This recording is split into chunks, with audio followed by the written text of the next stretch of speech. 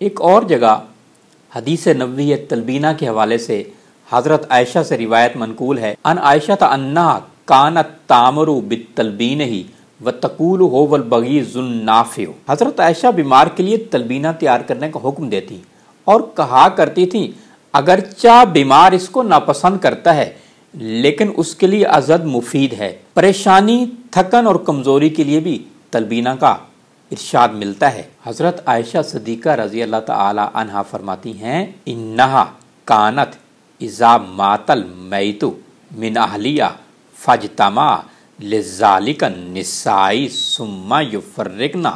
الا اہلو و خاصتہ امرت بے برمتا من تلبین ہی فاتو بے خط ثم وادا سریدن فسبت تلبین علیہ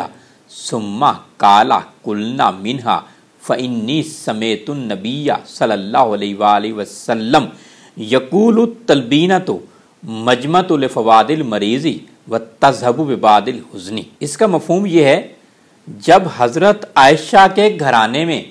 کوئی وفات ہوتی تو دن بھر افسوس کرنے والی عورتیں آتی رہتی جب باہر کے لوگ چلے جاتے اور گھر کے افراد اور خاص خاص مہمان رہ جاتے تو وہ تلبینہ تیار کرنے کا حکم دیتی۔ پھر سرید تیار کیا جاتا۔ پھر سرید کی ہنڈیا کے اوپر تلبینہ ڈال کر دیتی اور کہا کرتی تھی کہ میں نے نبی صلی اللہ علیہ وآلہ وسلم کو فرماتے سنا ہے کہ دل کے جملہ امراض کا علاج ہے اور دل سے غم کو اتار دیتا ہے۔